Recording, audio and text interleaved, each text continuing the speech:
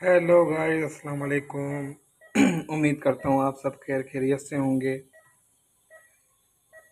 आज हाजिर होते हैं एक और नई वीडियो के साथ और ये बच्चा लो बर्थ वेट है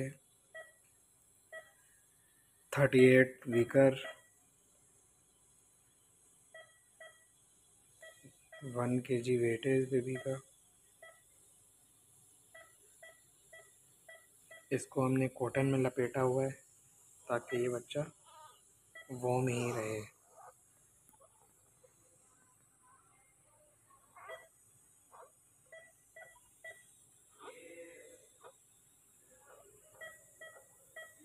इस बच्चे के लिए दुआ करनी है आपने कि ये बच्चा सरवाइव करे।